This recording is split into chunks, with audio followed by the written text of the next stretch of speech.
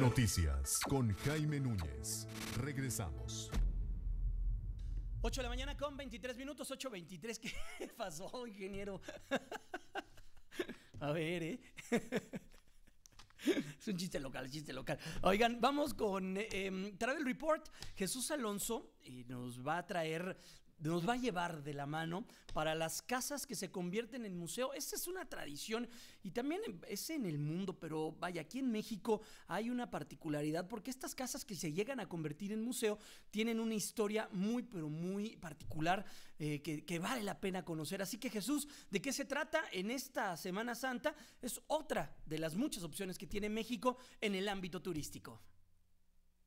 Muy buenos días, queridos viajeros. El día de hoy les traemos un top en 10 hogares mexicanos que se convirtieron en museos gracias al amor al arte de sus propietarios.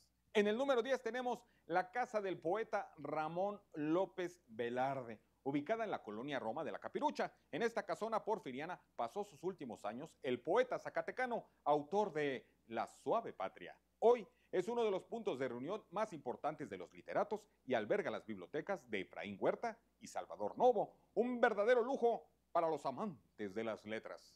En el número 9 tenemos la Casa Fuerte de Emilio el Indio Fernández. Antes de convertirse en museo, esta singular construcción coyoacanense era ya toda una leyenda. Ahí se reunían y llegaron a vivir los más cercanos colaboradores del afamado director de la época de oro del cine mexicano. Después de su muerte, la casa ha figurado como locación de muchas películas y puedes visitarla cada 15 días. En el número 8 tenemos la Casa Alvarado, ubicada en la calle Francisco Sosa. En esta hermosa edificación vivió por mucho tiempo la antropóloga Celia Nutal quien la dotó de su singular jardín. Tiempo después, Octavio Paz pasaría sus últimos años en ella. Actualmente es la sede de la Fonoteca Nacional y el jardín sigue siendo una rechulada. Recorre sus salones y asómate al pasado.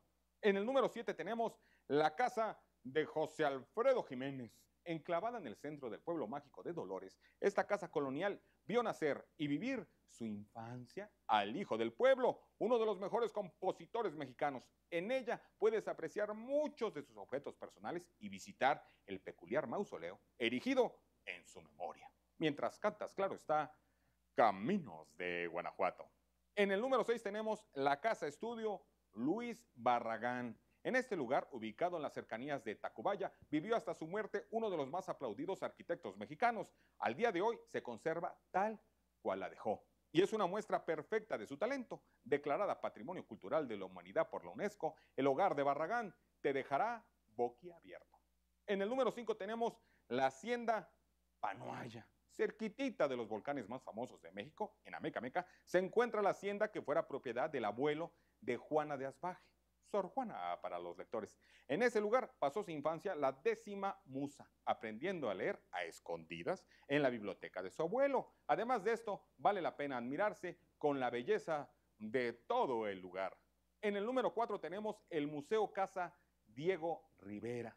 No es la casa estudio de Alta Vista ni el Anahuacalli de Santa Úrsula, sino el lugar donde naciera el famoso muralista ubicado en Guanajuato la que fuera su casa familiar y de infancia, se engalana hoy con más de 175 obras de Rivera, entre cuadros y bocetos. Un orgullo para Guanajuato y, por supuesto, para todo México. En el número 3 tenemos la Casa Azul. Por supuesto, no podía faltar la casa de Frida Kahlo, que alegra las calles coyoacarenses con su azulísima barda. En ese lugar nació y murió la más afamada pintora mexicana e incluso llegó a vivir ahí con su esposo don Diego Rivera. Los amantes de la obra de Frida no se cansan de visitarla e imaginar al artista vistiendo sus bellísimos vestidos. En el número 2 tenemos el Museo Dolores Olmedo. Dolores Olmedo, más que artista, fue una gran coleccionista de arte. Una de las mayores colecciones de la obra de Frida y Diego le pertenecía y decoraba su casa de Xochimilco. Hoy su hogar es un espacio dedicado a la pintura y a la naturaleza, como también lo fue mientras su dueña vivía. Y en el número uno tenemos la Casa de la Bola. En esta casa, cercana al parque que le da su nombre, vivió Antonio Hangenbeck y de la Lama. Viajero incansable y coleccionista de arte y antigüedades. Cada mueble y cada objeto tienen una historia que contar. Visitarla es un auténtico viaje al pasado. Antes de morir, Hangenbeck manifestó su deseo de que esta y otras dos haciendas de su propiedad se abrieran al público. Pintores, literatos, cineastas, arquitectos y coleccionistas, otros hogares de estas personalidades, hoy nos muestran que además de personajes históricos, eran de carne, hueso y corazón. Déjense atrapar y viajando que es gerundio.